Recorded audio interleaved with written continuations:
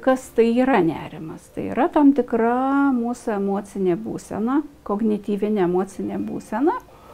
Ir jinai yra kaip atsakas į tam tikrą mūsų suvokiamą pavojų, grėsmę arba tiesiog mūsų mintimis sukurtą pavojų grėsmę. Aš šitą netgi vadinu tokį filmą gyvenimo, kurį sukūrėm šiandien, kaip ten bus toliau į ateitį, gyvenimo filmą ir jame pagrindinių herojų vaidiname. Nerimas pats savaime, jis nėra problema. Jis tiesiog nei gerai, nei blogai.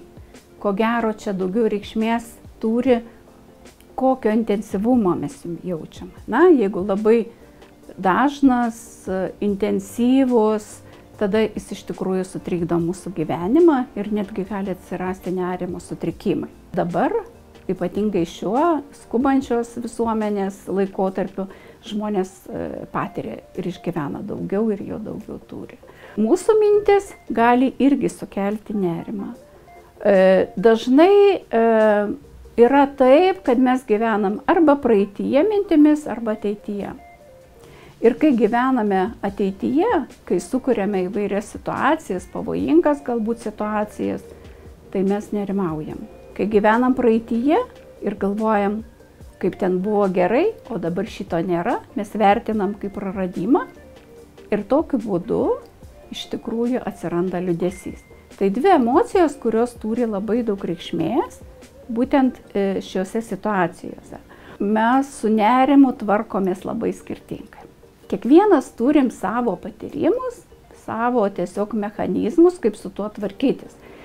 Ir malšinam nerimą, kai kas kūno įvairiom technikom, kai kas vaikšto greitų tempų. E, aš vieną tokį, sakykime, galiu rekomenduoti tikrai veiksmingą mechanizmą. Tai yra greitas vaikščiojimas ir dar jeigu neturiu galimybės vaikščioti ir mano sanariai leidžia ar ne, tai tada pritupimai daryti pritopimų tiek, kad pradeda skaudėti kojas, bet koks nerimas neišlaiko šito.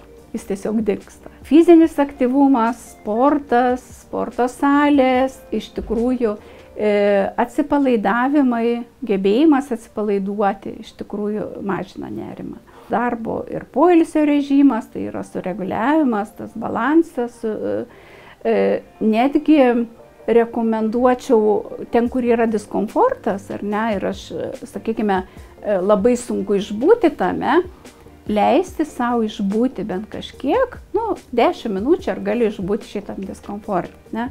Ką jisai daro, tai jisai padeda toleruoti daugiau diskomfortą, bet padeda ir tas emocijas toleruoti. Apribojimas kofeino. Nu, tikriausia, kofeinas, kada mes nerimaujame arba E, nikotinas taip pat įrodyta ir moksliniais tyrimais, kad tuo metu, kai geriam kavą arba rūkom cigaretę, atrodo ramiau liktai, bet po to visgi tos cheminės medžiagos sustiprina buvimą čia ir dabar. Ko gero pats sunkiausias mechanizmas - būti čia su savo mintimis, kas čia vyksta ir netgi atpažinti, jo, kai jaučiu nerimą, nėra katastrofa. Tiesiog aš jį jaučiu iš kur jis atsirado, galbūt mano mintis kažkokią sukėlė jį, kaip aš elgiuosi nerimaujant. Tai va čia yra pačios pagrindinės ir esminės vat, e, mechanizmai esminiai, pradiniai, kaip atpažinti ir padėti savo su tuo susitvarkyti. Kviečiu pasidomėti, jeigu kam norėtųsi, yra a, programėlė Ramo. Šiaip ji sukurta psichologų, yra nemokama ir būtent joje yra efektyvu pasidomėti tiems, kurie turi panikos atakas, kurie dažnai nerimauja. Ir ten yra ir praktikos, ką daryti, kaip elgtis. Ir ją galima parsisiųsti ir turėti savo telefone. Ir meditacijų įrašų yra. Tada, kai jisai yra intensyvus ir kai pradeda trukdyti gyventi. Vat, gyventi, dirbti, e, atlikti kasdieninės veiklas, e, sukoncentruoti dėmesį ar ne, tai jau kai pradeda tiesiog trukdyti kokybiškam gyvenimui. tada verta tada kreiptis jau pas specialistus